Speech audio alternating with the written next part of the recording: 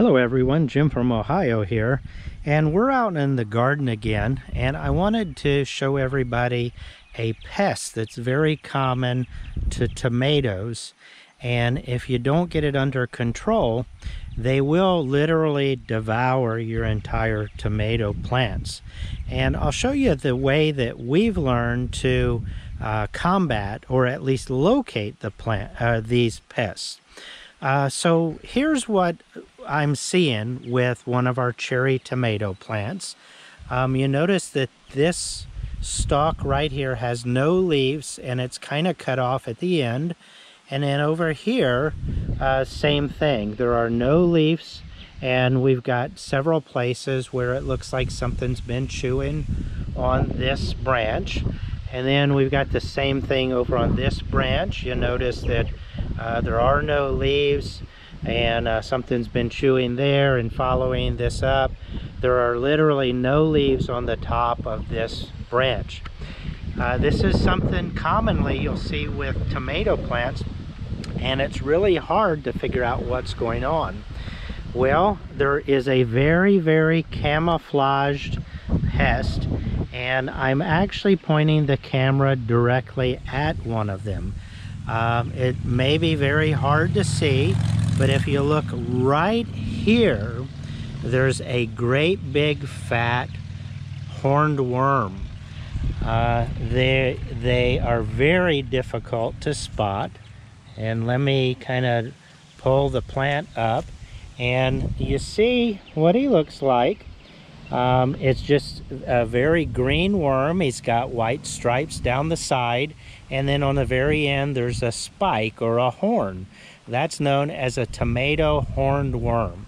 And they will literally devour your tomato plants if you don't locate them and uh, pick them off. Now, some people will uh, just kill the worm.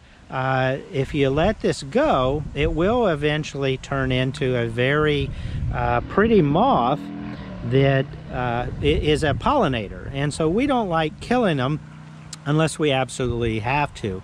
Uh, normally we'll grow an extra tomato plant that we refer to as a sacrificial plant and when we find these we'll move these worms over to that sacrificial plant and let them live out their lives and we're not really concerned about that particular uh, tomato plant. But uh, this is a big worm and he's a little easier to spot when you know what to look for.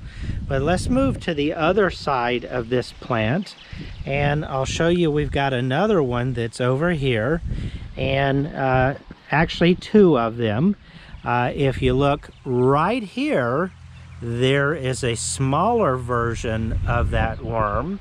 And if we look right over here, uh, there is another one that's uh, kind of middle size from the difference in the small one versus the large one. And uh, so we've got three of them right here. Now, to make it easier to find these things, what we've learned is we've got a flashlight and I'll, live, I'll, I'll post a link down in the video description below where you can order one of these. But this is a special flashlight. It, it is an LED flashlight, but it's a black light flashlight. And what this what this enables you to do is you can come out at nighttime and you can shine this flashlight onto the tomato plant and these worms will actually glow making them much easier to find or spot the worms so that you can take care of them. And so what I'm going to do is shine the light and you'll notice right here in front of us when I shine uh, the black light, you see how those hornworms light right up. Uh, that's one of them right there. And then I found one over on this tomato plant right here. See how that worm just lights up under the black light. Here's another one right here. It's a little bit smaller than the last one. So I'm gonna go ahead and pick these off. Now these worms, even though they've got that spike on the tail, um, they won't sting you. Uh, they won't bite you or anything like that, but some people do have difficulty just grabbing that worm and pulling it off. So what we like doing is once we locate them, uh, like this one right here, what we typically will do is come down just below that worm and we'll just break off this little branch and then move the entire branch uh, either to the sacrificial plant or wherever you're going to dispose of the worm. Uh, right now we've got a bunch of bluebirds uh, with babies in the nest and what we've been doing this year since we didn't grow a sacrificial plant, uh, we're just taking these and putting them on the ground near our bluebird houses and letting the bluebirds feed their young with it. Uh, but uh, that's about it. I'll go ahead and take care of these off camera and um, we'll get rid of these three and then we'll search all of our other tomato plants tonight. As a matter of fact, I've got uh, this one I looked at last night and we do have some worms on it. I've got, uh, you can probably see this great big worm right here. I found him last night and over on this stalk right here, there are actually two worms that are next to each other, one right here and one right there. So like I said, with the flashlight, they're very, very easy to spot.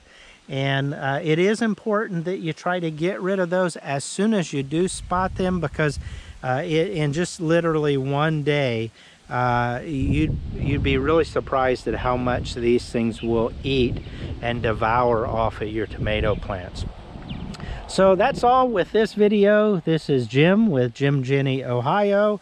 I hope you've learned something and um, good luck and enjoy your holiday uh, weekend. The 4th of July is tomorrow and I hope everybody has a safe and happy, uh, uneventful uh, holiday. Take care. Bye-bye.